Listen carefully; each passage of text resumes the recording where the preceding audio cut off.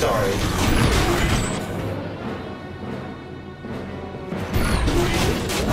Large damage initiated.